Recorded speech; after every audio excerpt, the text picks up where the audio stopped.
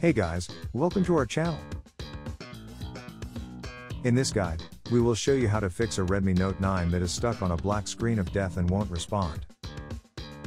When a smartphone gets stuck on a black screen and won't turn on, the problem can just be a minor firmware issue, as long as it's not caused by hardware damage.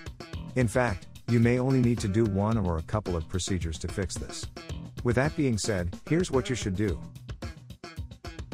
First solution, force reboot your Redmi Note 9. If there are no visible signs of hardware damage, then your Redmi Note 9 may have powered off due to a firmware crash. That's something you can fix by doing the forced restart. So if your device just won't respond for some reason, here's what you need to do. Press and hold the power key for 10 seconds or more. This will trigger it to boot up. When the logo shows, release the power key and allow the device to continue the boot process uninterrupted. Most of the time, this is the only thing you need to do to make a phone respond again. However, if this procedure fails, then move on to the next solution. Second solution, try to boot into the recovery mode. There are times when the firmware won't load or respond, however, it's important for us to know if your phone is still capable of turning on. So try starting it up in recovery mode and if it actually does power on, then it means there's no issue with the hardware. Here's how it's done. Press and hold the volume up button and the power key for 10 seconds. If the Redmi logo shows, release both keys and wait until the device enters the recovery mode. From here, you can just reboot your phone by pressing the power key to select the options.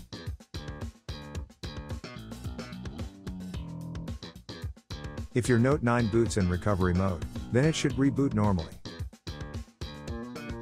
However, if it still won't respond to this procedure, then try the next solution. Third solution, charge your phone and do the forced restart. If your Redmi Note 9 failed to respond after doing the first and second solutions, then what you have to do next is charge it and do the forced reboot while it's charging. It's possible that the battery was drained and the firmware crashed just before the device powered off.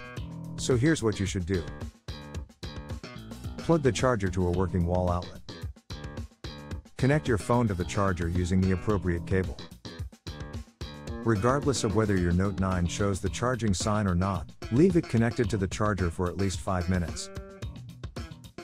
Now while the device is still connected to the charger, press and hold the power key for 10 seconds or more. If the logo shows, release the power key and it should boot up successfully. However, if this doesn't fix the problem either, then you have to let a technician check the device for you. There's probably an issue with the hardware.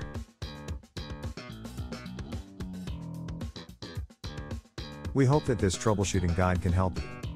Don't forget to subscribe to our channel and make sure you enable the notifications so that you'll be notified when we publish new videos. Thanks for watching.